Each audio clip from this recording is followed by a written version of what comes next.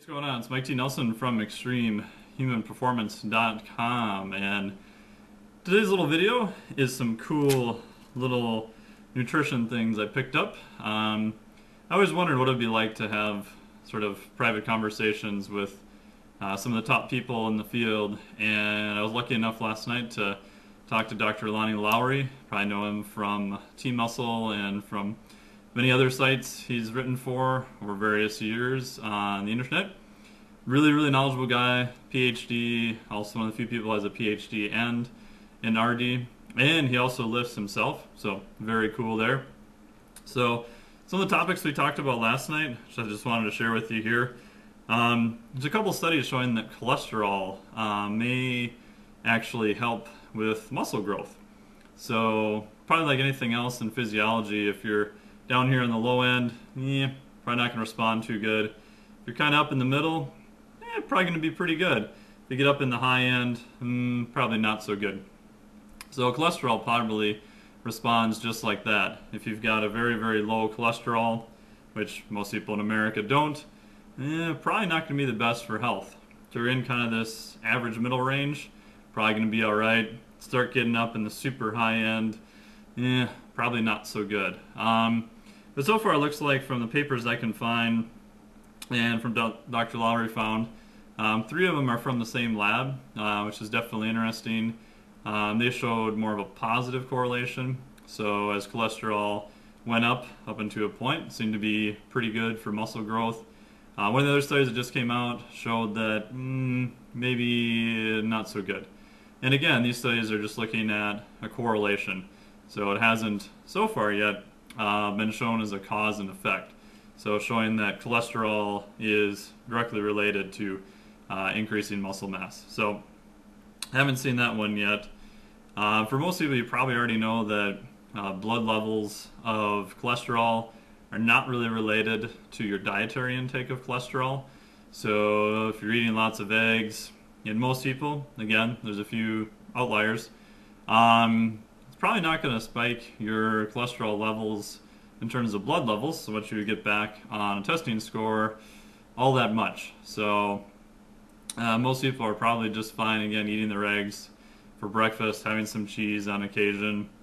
Most time, really not going to probably push up uh, blood cholesterol levels all that much. Some other cool stuff we talked about is the mTOR pathway. And most of you have probably seen this lately in relation to the amino acid leucine. So leucine is an amino acid that seems to directly stimulate this little pathway. And this pathway is one of the, the primary ones for protein synthesis.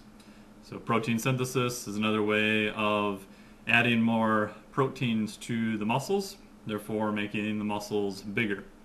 So in short, in English, you can stimulate the mTOR pathway more, you should see an increase in muscle mass also. So that's pretty cool. And we also talked about maybe uh, insulin is also possibly needed, maybe by the mTOR pathway, maybe by a separate pathway um, for increasing muscle mass. And again, as always, comes down to calories are king. So if you're not eating enough calories, still lifting, working really hard in the gym, probably not going to see an increase in muscle mass because adding muscle is an extremely uh, metabolically intensive process. So when you're in the gym, you're lifting, you're giving your body the stimulus to increase muscle and also increase strength. Um, but if you don't have the raw materials there, it's not going to be as good. Uh, one of the things Dr. Lowery uses a lot in his talks, which I've seen, which I like a lot, I'm going to steal from him, is the analogy of construction workers. So you can imagine you've got a lot of construction workers, they're going to go build up this new house. So all the construction workers show up and they look around and there's no raw materials. Obviously your house isn't going to get built very fast without any raw materials. So you can think of the construction workers as a stimulus. So in this case, weight training. So you go out and weight train, it's enabling sort of the construction workers to show up to the site to build your new house, add some muscle. But if there's no fuel for them to use or no uh, raw materials for them to build with, i.e. calories, yeah, probably not going to get a lot done. So hopefully that makes sense. So you need to supply the workers, you need to apply the stimulus, training hard in the gym, and then you need to apply calories. So fuel for the machines and also the raw materials to build your new house. Um, talked about how protein is not necessarily evil. Um, it's just another macronutrient.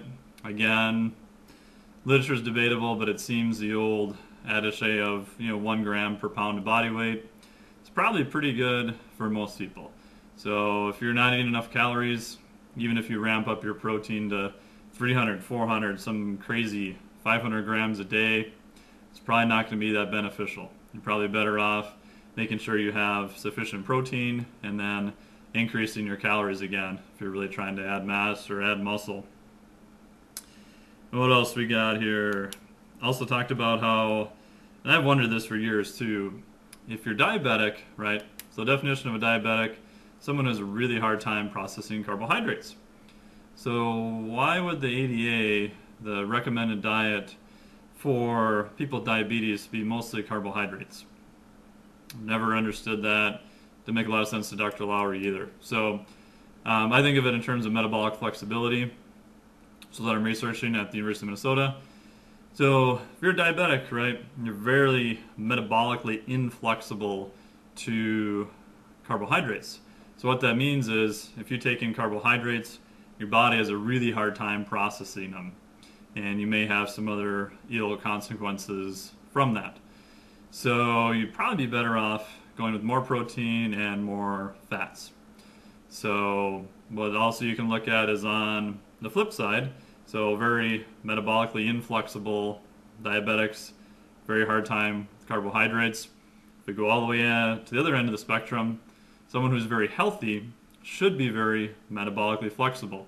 They should be able to process uh, fats, should be able to process carbohydrates very easily. Their body should be able to flex, move back and forth between those two fuel sources very easily. So that could be also a marker of health. So, so that's one thing I'm working on. So, so there's a bunch of other stuff we talked about, but that's just a basic overview. So the kind of the takeaways are probably don't be too worried about actual food cholesterol levels. Heck, it may even be good for increasing muscle mass. Um, the mTOR pathway, which has been studied for quite a while now, um, probably one of the main pathways for muscle growth. So the way to stimulate that pathway, maybe with just amino acid leucine. Uh, newer studies show that you probably need other amino acids to stimulate all the other pathways. So again, it comes down to protein. Protein is good, probably about one gram per pound of body weight. Somewhere around there is probably going to be pretty good. You're trying to gain mass, you're trying to add muscle, you have to increase your calories. It's going to be the, the best way to do it, especially once your protein needs are taken care of. And if you're diabetic and you have a very hard time processing carbohydrates, probably want to work with your physician, but you may consider a diet that doesn't have as many carbohydrates in it because you have a very hard time processing them. So, one thanks again, Dr. Lowery, for letting me talk to him. Very cool stuff. And I just want to share some of that stuff with you. Any questions, please drop them in the comments below. Again, it's Mike T. Nelson for ExtremeHumanPerformance.com. Thank you very much.